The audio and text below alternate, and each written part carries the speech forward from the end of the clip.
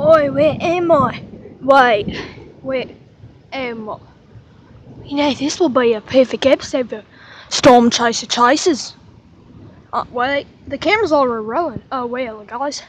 Hi, guys, is Fizzle Water back with another, not Fizzle Water.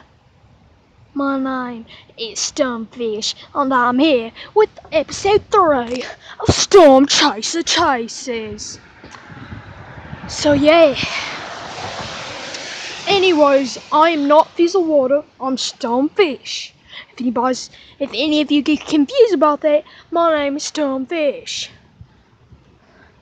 Yeah, I just post YouTube channels on YouTube videos on Fizzle Water's YouTube channel. So, because I'm obviously Stormfish, have an amazing. Oh, but I can do a great impression of Fizzle Water. Here goes. Hey guys, this is Fizzle Water back with another episode. Isn't that an amazing impression? Impression? Whatever.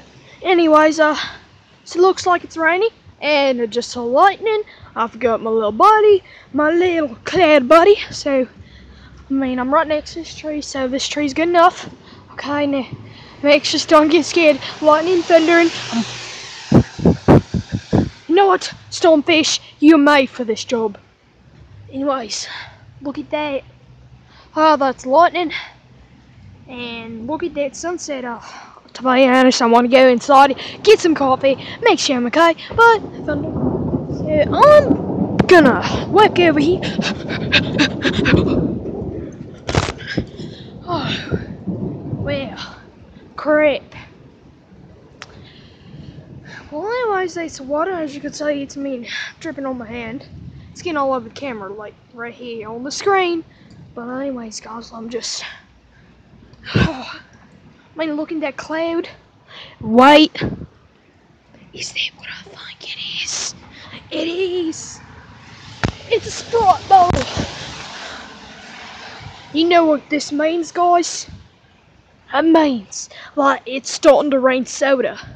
This one bottle can make 500 trillion billion gazillion raindrops. And anyways, guys, let's just sit here and look at the stars. Well, there isn't any. But, you know what this means? I have to go write this down on my computer. You know?